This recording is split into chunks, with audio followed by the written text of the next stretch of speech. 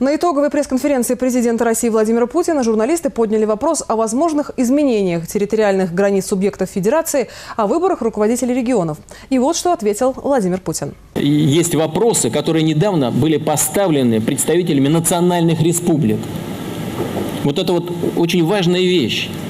Э, И не просто национальных республик, а где э, бок о бок сосуществуют и живут вместе десятилетиями, а то и столетиями представители разных, но титульных наций, которые считаются в этом субъекте основными. И там не одна такая нация или этнос.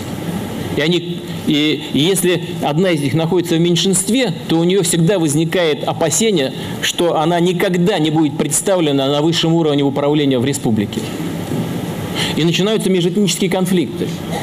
Поэтому, я понимаете, я уже много раз говорил, Россия сложное государство, сложно устроенное. Поэтому э, люди из этих национальных республик, понимая эту проблему, чувствуя на, на, на себе, на своих семьях, опасаясь за вот такое неблагоприятное развитие, они сами поставили вопросы. Дайте нам право, сказали они, выработать такую систему приведения к власти руководителя республик, которая бы никого не ущемляла. Не надо отбирать у людей это, это право. Надо, надо все это пообсуждать.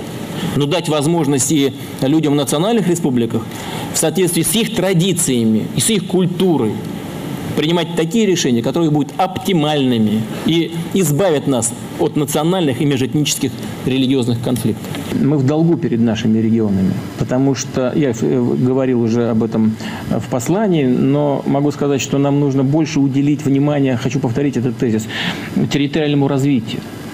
Больше нужно, вот сейчас говорили о развитии Москвы, но бесконечно Москву нельзя расширять. А для того, чтобы это было не так, для того, чтобы у нас складывались другие точки роста, нужно создавать условия.